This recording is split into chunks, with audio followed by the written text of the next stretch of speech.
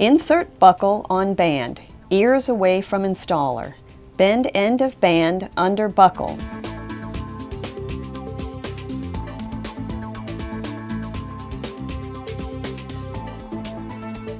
Wrap object, bringing band through buckle again.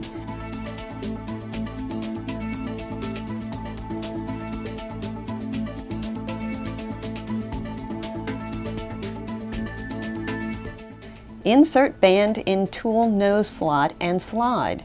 With thumb on band gripper lever, tighten by turning tool handle. When band ceases moving through buckle, stop turning the handle.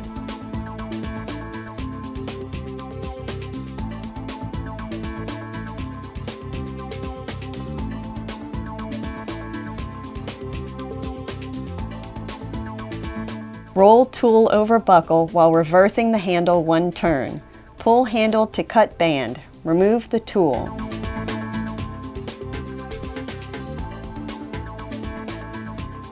Push band stub between the ears, then hammer completing the assembly.